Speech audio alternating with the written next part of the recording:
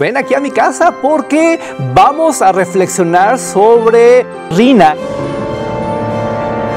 ¿Estás leyendo? Amalia me entregó esta carta. Bésame.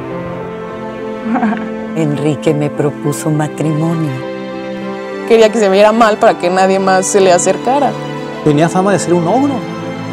El show de las telenovelas en su nuevo horario. Sábado 11 pm, solo por telenovelas.